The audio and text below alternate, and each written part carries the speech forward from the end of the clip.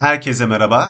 Eternity Chain yani ERN coin ile alakalı sadece arz hesaplamasıyla önümüzdeki boğa sezonunda minimum hangi fiyatlara çıkabilir, garanti satış hedefi neresi olabilir bunu göstermeye çalışacağım. Mart 2021 yılında 4.3 milyon ERN dolaşımda yer alıyor. Zaten en yüksek market cap'i de bu dönemde görüyor.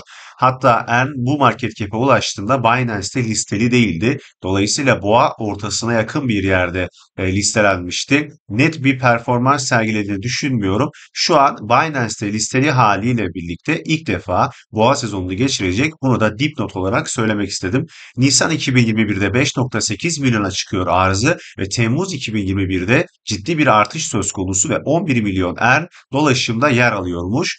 Ee, ve bu arz artışı kademeli bir şekilde devam ettiği Ocak 2024'e geldiğimizde 20 milyon ERN dolaşıma girmiş vaziyette. Şimdi burada bir şeyi dikkat çekmenizi istiyorum. 4.3 milyon ERN ile boğa sezonunda en yüksek market cap'e ulaşıyor. Şu anki arzı 20 milyon 5 katı bir artış söz konusu. Şimdi bunun doğrudan fiyat üzerinde etkisi olduğunu düşünüyorum ve zaten birazdan hedefleri gösterdiğimizde arada ciddi bir uçurum olacak. Yani en yüksek market cap'i gördüğündeki fiyat ile hedef arasında ciddi bir fark var. Sebebi de zaten bu e, arz artışındaki büyük yükseliş. E, şimdi Binance'de listeli olduğu için otomatikmen benim açımdan ben pozitif olarak değerlendirdim. Yani bu arz artışını kısmen de olsa ne yapar? Absorbe edebilir.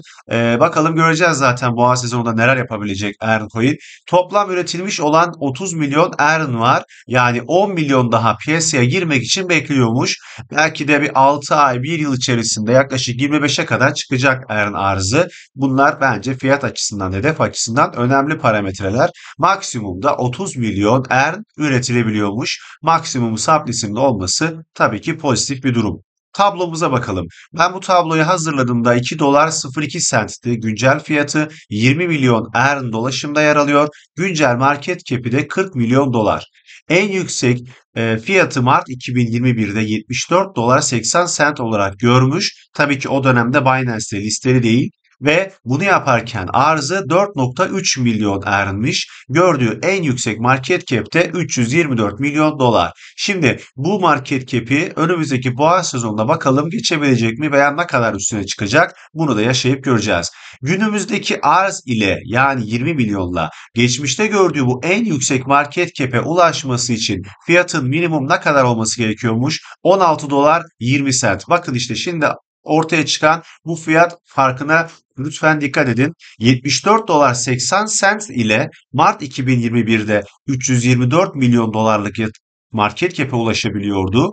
Ama günümüzde artık 16.2 sente ulaşırsa eğer fiyat ve arıza sabit kalırsa o geçmişte gördüğü en yüksek market cap'e ulaşacak. Yani arada ciddi bir makas söz konusu. Peki bütün ernler dolaşıma girerse garanti hedefimiz yani minimum hedefimiz neresi olur? O zaman da 10 dolar 80 sent minimum boğa hedefi olarak karşımıza çıkıyor. Bakalım bunun ne kadar üstüne çıkabilecek veya ulaşabilecek mi bunu da zaman gösterecek. Grafik üzerinden hemen göstereyim sizlere.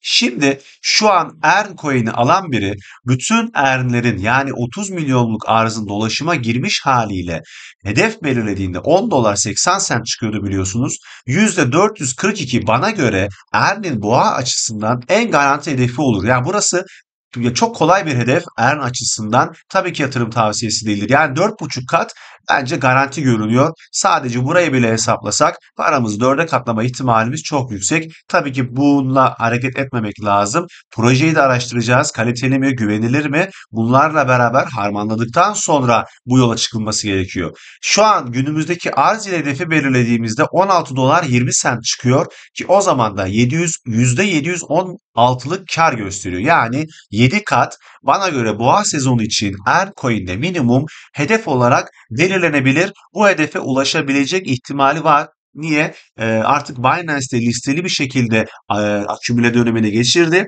ve boğa sezonu yaşayacak ilk kez. Bu da ben fiyata ne de olsa biraz daha olsa yakıt vereceğini yani 324 milyon doların en azından 1 milyar dolara kadar çıkartabilme ihtimalini düşünüyorum. Olabilecek bir senaryo. Evet Er'le ilgili de söyleyeceklerim bu kadardı. Beni dinlediğiniz için teşekkür ederim. Herkese iyi günler dilerim.